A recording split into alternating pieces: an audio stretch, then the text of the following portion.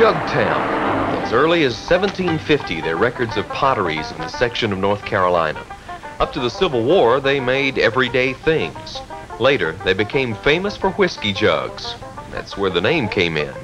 By the end of the 19th century, there were nearly 50 potteries in operation in a 20 square mile area. As the years passed and the demand for what they call dirt dishes dwindled, that number shrank.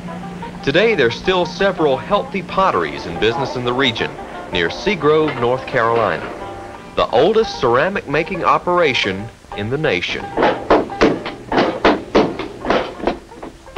when the people first started making pots in this area around here, they had to be close to the clay because, you know, the only way they had to move in it was just by mule moving wagons. Mm-hmm. So they couldn't have went too far, far to get the clay. And that must have been the reason they settled here. There's plenty of clay, plenty of wood.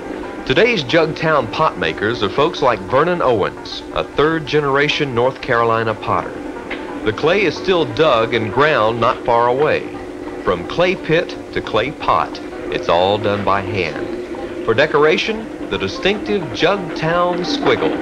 Yeah, it's just all in the speed of how how fast you move this stick up and down, what kind of a line and, and design you get on there. Now, if I got the wheel going really slow and move this thing fast, I get the, the line, more of a humps in the line, you know, and it's just every, every design comes out different. The finished pottery is still functional in design. The colors, warm earth tones. Here and there, some Blue Ridge blue. Some are still the natural orange color of the native clay itself. If you're looking for a good word to describe the work from the Jugtown section, that word could be traditional. Because history's here, kneaded right into the clay. It's not every section of the country that can make the claim that their major industry has been here as long as the country.